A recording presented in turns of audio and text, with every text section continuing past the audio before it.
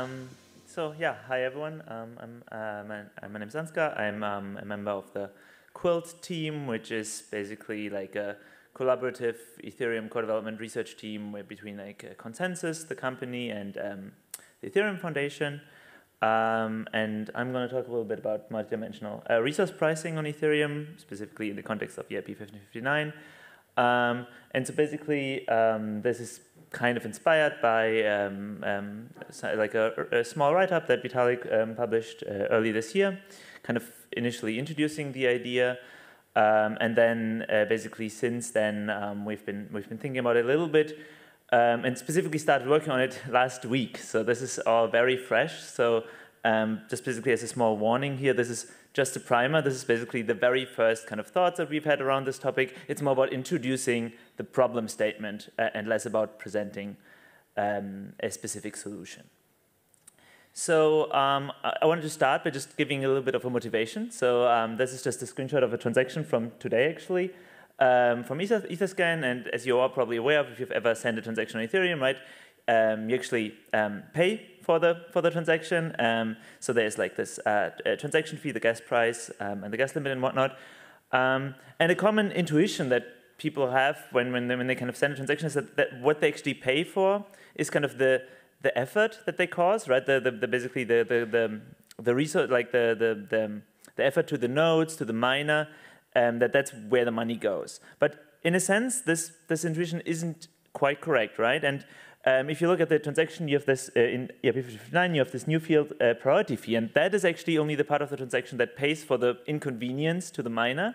The entire rest, and in this case it was 50 Gwei, like the vast majority of the transaction does not actually basically reimburse the miner, right? It, it, it, it does something else. And if you think about it, I mean, of course, it's uh, Ethereum is just like a normal supply-demand uh, price equilibrium, but the, the, the, the, relative price elasticities here um, are important. This is just a, a graph from uh, another write-up of mine from, from last year. It's not, not quite on topic, but I, I, thought it illustrates the point quite well that you see that basically supply actually uh, is fixed on Ethereum, right? So there's no, like when people, if there's, if people are willing to pay higher, higher prices, you still don't get more block space, right? This is basically fixed block space. This is of course pre-1559.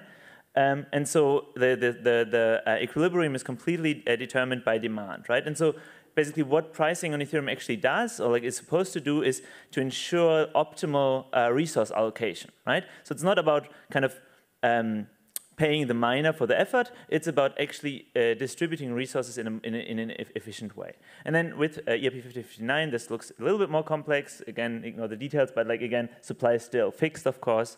Um, and actually, because um, this is the case, th that's actually the intuition, if you want to, why we were able to, under 1559, to burn the fees, right? Because they're not needed to basically motivate the miner to include the transaction. Um, so we can in, instead basically turn them into protocol extractable value in, in a sense. Um, so what are these resources that we want to efficiently allocate on Ethereum, right? Um, they actually, if you look into it, um, it turns out there are quite a few uh, different ones. So this is uh, definitely not a conclusive list, but some of the most, most common ones. So there's bandwidth, right? How, how big uh, are these blocks that, that are gossiped between the individual nodes? There's compute for processing the blocks, state access, uh, memory, and then, then there's state growth. So basically, like the, the state is that all, all, all nodes have to have to permanently hold, and that grows forever, right? um, and, and that's expensive. But then also there's history growth, and that's that's just like the keeping the historical blocks uh, around. Um,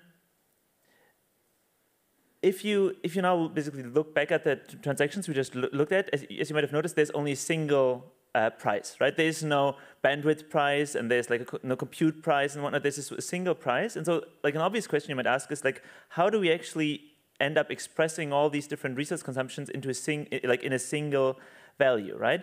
And as it turns out, on Ethereum, how, how we basically have been doing it from the very beginning is just that we say um, we just have we just uh, um, set fixed relative prices. So we basically just say, um, in addition, in the EVM, if you just want to add two values, that costs I don't actually know. I think two or three gas.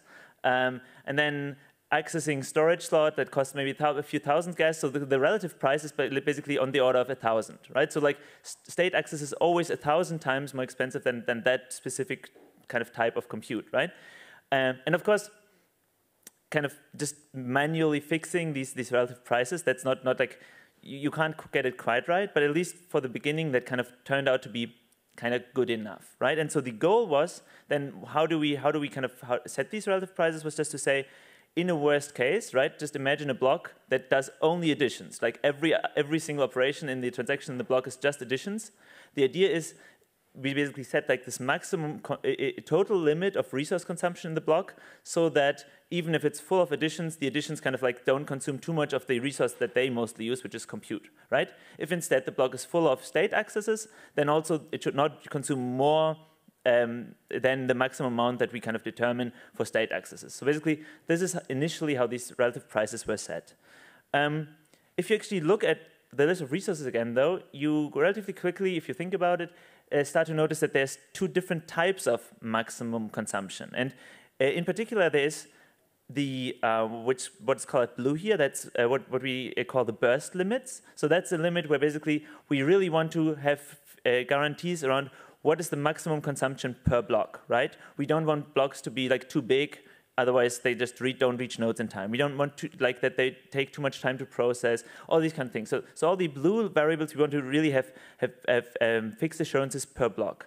And then the orange ones, the, the state growth, the history growth, those are like what we call sustained limits, right? So we don't really care how much extra history uh, growth a single block um, um, causes. It's about what is the maximum average, right? So a thousand blocks, how, how much do they contribute to history growth and how much history growth is there in a, in a given year or something? Uh, and so, um, and so basically, um, pre sorry, sorry. So pre 1559, what we did was we basically just took the same gas limit and said we just use it for both the burst and the sustained limit, right? And like I don't know, we just don't care what kind of limit it is. But if you think about it, it really has quite different properties. So the burst limit is a hard limit per block they really have to enforce, whereas the sustained limit, you can, you can, you can go above that in, in, in an individual block. You really only care about the averages. And so it just turned out, um, and just by pure coincidence, that that, is, that, that has uh, good synergies with the, what we wanted to, like the design goals behind EIP 1559. So basically, we wanted to make, in a sense, make demand legible um, to the protocol so that we can like have the base fee and extract it instead of paying it to the miners. Um, and we, we, yeah, we did this by basically having this base fee be an explicit var um, variable in the protocol. And the, the thing is, like, whenever the demand decreases, uh, that is immediately legible to the protocol, right? We didn't have to do anything about that because um, blocks just are no longer full. In like before pre pre 5059, basically blocks were always full. After 5059, if you didn't do anything, like if the base fee is too high, blocks are just not full. The problem is you don't have an equivalent mechanism on the other direction, right? Um, if the demand increases but blocks were already full, you, like from the inside, you don't even, like you, there's nothing, you don't see anything about that. And so um, we wanted to also make that legible. And so um, thinking about these like burst and, um, and sustained limit, limits, basically there was this very natural solution of just um, saying we, we split those, right? Instead of ha just having a single gas limit in a block, we, we use the gas limit just for like this burst, for limiting the, the, the burst usage. But then we have the separate uh, ga uh, gas target, which is in our case like half, half as much of the, of the limit. And that is basically now the sustained limit, right? So basically all the assurances around how much on average uh, many blocks in a row will use, that's now this, this gas target. And uh, in, in, that way, we just basically very naturally also made the kind of the, the, the, the other case, like the demand increases observable um, by the protocol. Um, if you kind of followed along with, with, with, that explanation so far, there might be two questions, I mean, I guess maybe, I don't know, a couple questions, but two in, in, in particular that you might have been asking. And the first one is, wait a second, but if you actually change the burst limit and the, like you decouple the burst and the, um, the sustained limit, wouldn't that have required like a repricing of like basically the resources like by 2x um, against each other? And then the other one, um, also doesn't that mean that now the, all the burst limited resources are basically on average only half utilized, right? Like is, not that like an efficiency loss? And um, so for the first question, it just turns out there was, again, just another coincidence we had this mechanism called like refunds in Ethereum that already had the, basically the same property that like individual blocks could basically, I mean, I'm kind of generalizing a little bit, but could basically be, be 2x the, the, the total throughput. Um, and so we, we, we, at the same time we introduced this 5059 mechanism, we removed refunds, and that way basically we didn't have to deal with any repricing. It just, um, I guess we, we got lucky. The second question is the more interesting one, right? Like, um, indeed, if you have this, this, this, this target, so in, on average gas is only half full, but you have these types of resources, um, and we, we can look at them again, right? The, the, the, the, blue ones that basically you could, every single block, you could just go to the maximum, you wouldn't care, care right? You basically, on average, you're wasting half your bandwidth, you're wasting half your compute, uh, half your state access, half the memory. It's just basically not, not, not being used. So isn't that a problem, basically, right? I mean, it was, of course, already a problem with the refunds before, so it's not like a new problem of the mechanism, but shouldn't, shouldn't we, like, isn't that still a problem, basically? And uh, as I was saying on that slide before, yes, but, so there is a but. Um, and if you, if you basically look at this list, it, it turns out that most resource types, they actually kind of, they don't only have, a, have like a burst limit or only have a sustained limit. They usually kind of like have this, uh, this kind of this interesting um, pattern where they, they affect both sides.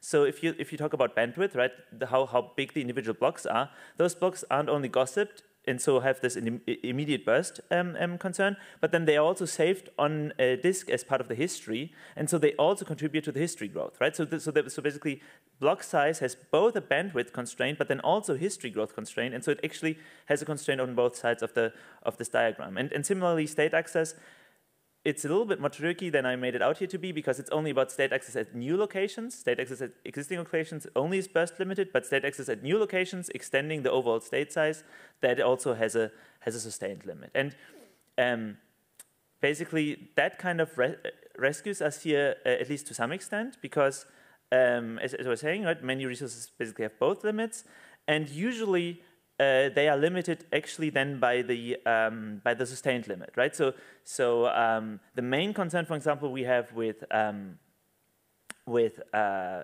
state access, right? State growth is that that uh, it's not like the kind of the the, the uh, time it takes within a single block to access the state. It's it's really about like how quickly can Ethereum state grow, right? And this is the main con binding constraint here, and so.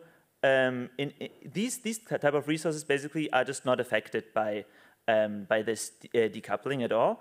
But, and this is actually like a constraint for, in general, for just for um, any 1559 style mechanism on Ethereum, it is true that resources that are only burst limited are on average underutilized, or basically you can't on average basically reach their maximum utilization under any type of 1559 style mechanism. Now, this is not, not the problem this talk is trying to solve. This is just basically point, pointing this out. Um, but it is, I think, a, a really important design uh, consideration here. Um, and then basically with that as background, now kind of like, I mean, we already talked about resources, but what would it, what basically, why do we want to maybe move to having actually multi-dimensional resource pricing, right? And what would that even mean? Um, and for that, uh, first kind of, uh, I want to talk just briefly about like what actually are the problems with one-dimensional pricing. And there's really one problem that I, I think I consider that being like the main one, and that's uh, again, resource un underutilization, uh, but of a, of a different a different kind. And just to, to look at this, it's really pretty obvious once you see this graph. It's basically just, I mean, it's a pretty bare bones graph, but um, so this is part one of the graph. so basically, if you if you today on Ethereum, right, you have resource A, resource B, just like the single, like the simple two-dimensional case. So one could be compute, the other could be bandwidth, whatnot, right? You basically because they both contribute to the gas consumption, but you only have a fixed amount of gas per, block, you can basically use only compute or only data, or if you want to use both, basically they, they kind of they have this trade-off relationship that is artificial, right? You, you wouldn't want them to have this trade-off relationship because actually you could like use the maximum allowable of both dimensions, but right now in this one-dimensional pricing, that's just not possible. So what we want is actually this, right? We actually, and of course, like in the if you imagine like the five-dimensional case, there would be some, I don't know what they're called, hyper rectangle or something. I think that's actually the word. Um, and so, um, and so basically, this is this is really the desirable outcome, right? We, we want we, we still have these limits, right? You can't use more than the kind of the limit of resource B and resource A, but we want any combination of those two to be possible, right? And this is kind of this is what the what what would this multi-dimensional pricing would enable because all of these uh, resource types would just be basically treated and, and accounted for individually.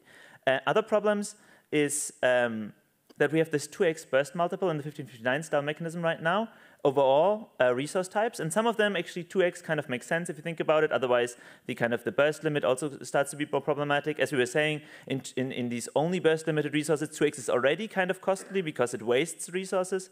But other other resource resources we could have 10x, 100x, and it wouldn't matter. And it would actually allow for much easier, like much more interesting 50, 59, uh, much more sensitive targeting, um, um, um, um, uh, like like adjustment uh, solutions, right? So basically, this is just kind of like an annoying side effect uh, of, of the kind of one-dimensional pricing. Um, also, uh, and that's more like a forward-looking uh, statement, new resource types that we are like about to introduce on Ethereum um, are less correlated with the existing ones. And so basically the, the, these problems basically will become um, bigger going forward and would require like frequent manual um, kind of relative pricing adjustments. So basically we would have to go in every few weeks and basically you have a hard fork that just says, okay, wait a second, kind of the market condition changed. And immediately, ideally we would want to go in once every hour or something, right? And just basically change the relative gas prices. And that's of course just, just not feasible, right? And um, for, for, for that, basically, the, the, the, solution is really kind of, I mean, that's kind of the whole talk, right? Just kind of like uh, giving, giving that intuition. We really would want to price all these resources uh, individually. Um, an interesting case study that, and that's kind of, that only came out of uh, actually the sessions we had uh, earlier this week, is um, layer two call data. So, so why is this such an interesting case study? Um, if you're on a layer two, right, um, and in, in, in particular, the, the, these were conversations we were having with, with Arbitrum and, and Optimism and whatnot, but, of, but I think that that really holds true uh, uh, among all layer twos.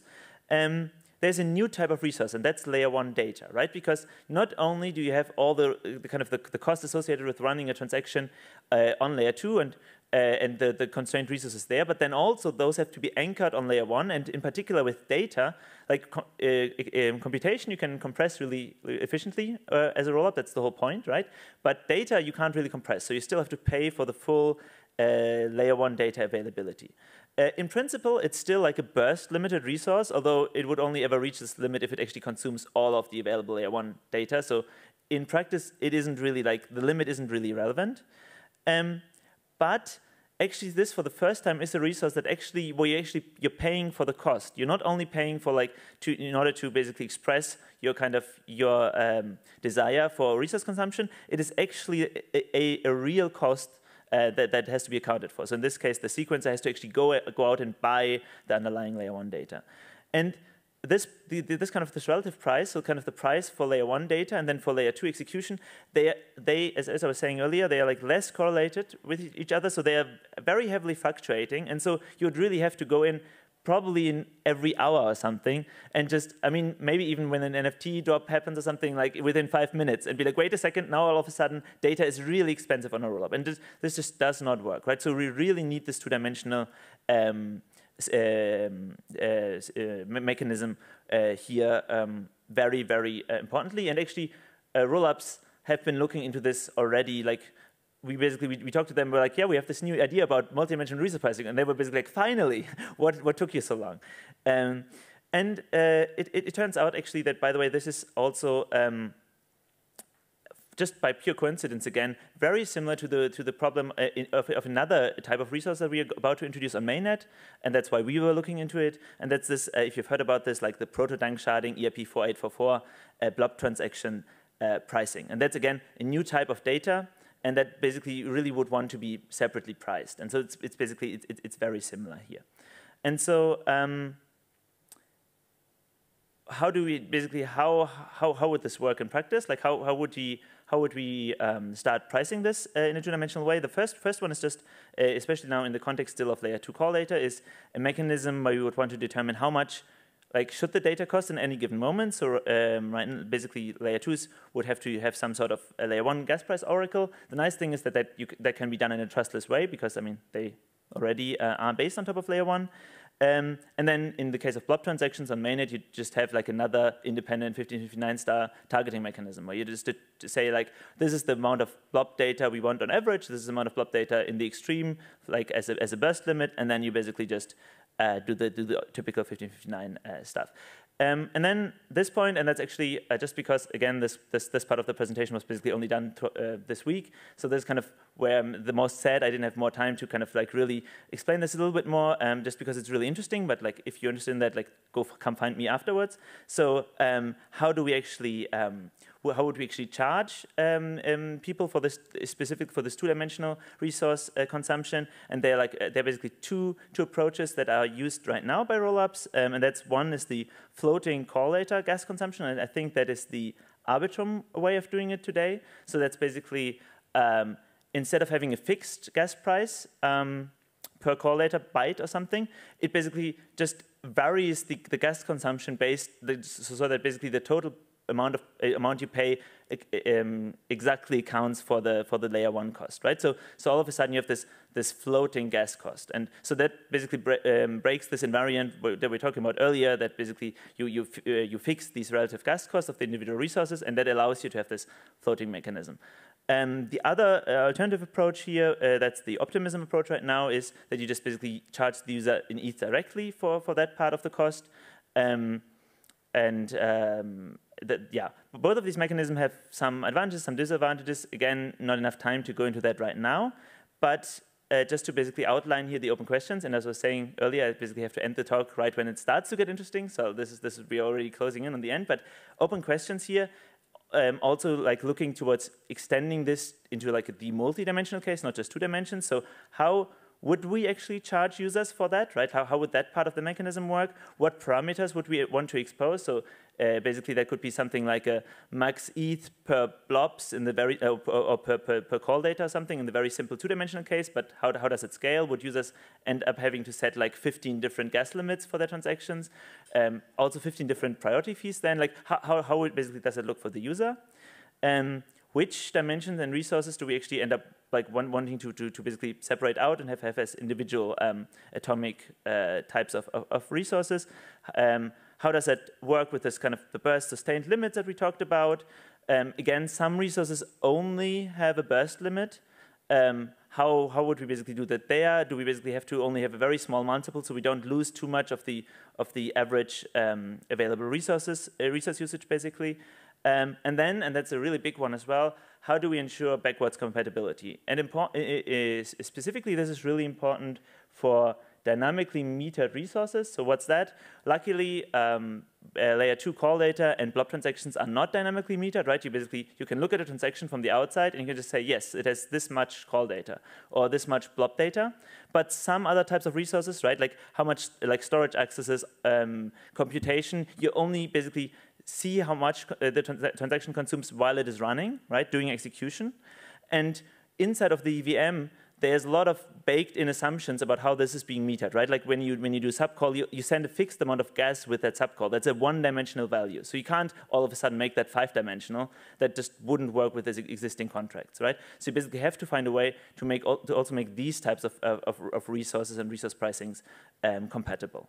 And um, so what's the plan here, basically? Uh, again, as we were saying, this is like the very early stages of just exploring this. So short-term goal is just design a mechanism, a simple mechanism for this, this two-dimensional use case, so layer two transactions and blob transactions, and I think layer twos were very adamant that like they need this fast, otherwise they'll just do their own thing. And I mean, of course, um, fair game, but it would be nice to have a standardized solution. So um, we also really want to get blob transactions into the next hard fork after the merge. So we want to have this mechanism like fixed in place within a reasonable amount of time.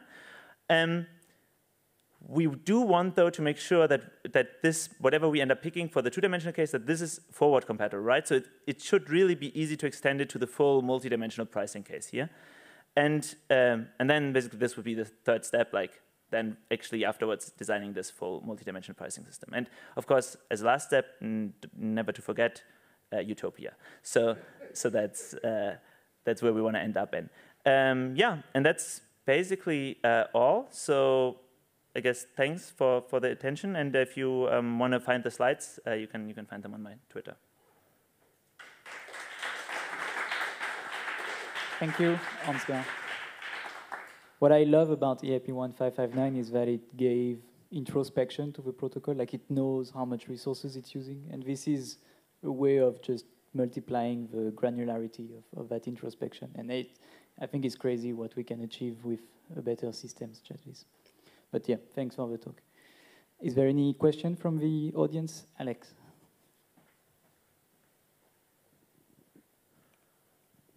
Thank you.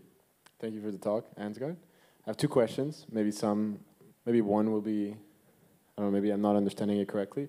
Does it make sense for this multi-dimensional pricing for all of that to be priced in the same unit? Because even though they would be like multiple dimensions, one dimension, if you need a lot of ether, for example, for one resource in particular, it's going to affect the price of the other resources. Not in uh, the ether unit, but relative to like USD, for example. Does that make sense? So, so basically, the, the, the point here would be that you'd have to um, price them in separate units, and then right. at the end, you, you, of course have to map that down to like a common ETH price or something that users would, would pay, right? But you, if, if I don't know, the, the price for storage would 2x, that would not affect the price for compute. But um, if, if you need Ether for both, now there's more demand for Ether for storage than for the other resource, right? Maybe right. maybe the, right, right, right. But like, how how would that? I mean, I'm asking you. Maybe it's not I don't, a good question. No, no, no. I mean, it's, it's it's an interesting point. I, I don't I don't think that kind of the demand for ETH just because in that like in good approximation is basically infinite in the just the scope of a single block. So I don't I don't think that those are that, that I, I, don't know. I'd, I'd, have to think about it a bit, but yeah. Okay, thank you. Happy to talk. I have like a second question, small. Right. Uh, are there any use case or applications that you see enabled by multi-dimensional pricing? Uh, use case replications. What do you mean by replications? Uh, but for example, we could be able to do better parallelization because we'd be able to like price resources right. in a different way. Or stuff oh, that's like that's that. a really really good question. I would say once we have a framework like that, it would yeah it would enable us to think better. Well, well, first of all, it's just I think it's really good to just have explicit what our limits for the individual resources are so that we can see where are the bottlenecks and we can just start kind of optimizing for them more. And then we can ask about like what are maybe implicit hidden other resources, right? Like how does this relate to parallelization? It's actually a really good question, right? If you look at other blockchains that really focus on parallelization, I don't know, Solana is just like uh, uh one of them that really focuses on that, right?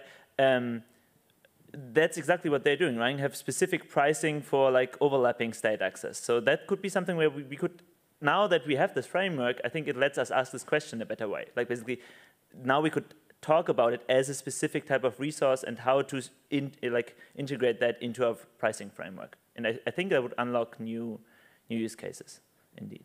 Thank you. Thank you. Ed first. Sorry. Thanks for a great talk. Um, I was happy to see the uh, discussion about burst versus sustained uh, resource use. I think that's a really important consideration in practice. Um, in 1559, the burst is defined over a time frame of one block. Um, but it could be that for some of these resources, the relevant burst time is, uh, you know what I'm going to ask, mm -hmm. yeah, that the relevant burst time is longer. So I'm just going to ask how painful that it would be if the burst was defined with respect to a time of, say, a minute or two minutes or five minutes. Um, sustained, of course, is always sort of long term. Right.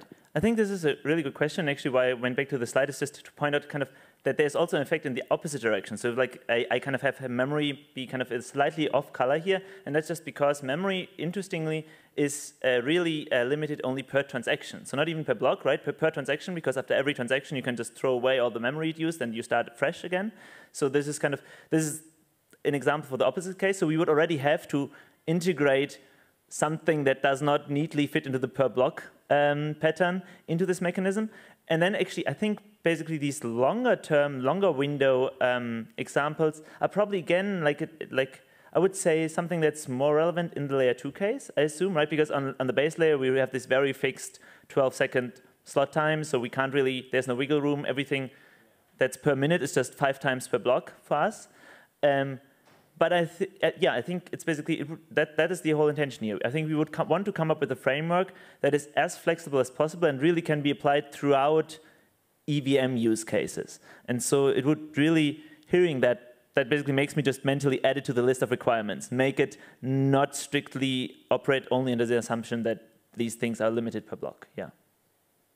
Okay, we'll have time for one more question. Thanks. Uh, do you have any thoughts on blob pricing when, say, blob and call data both use the same resource, like they both use storage? So a block Mhm. with a lot of call data- data and a big blob could be different to a blob, block with a small amount of call data. Right.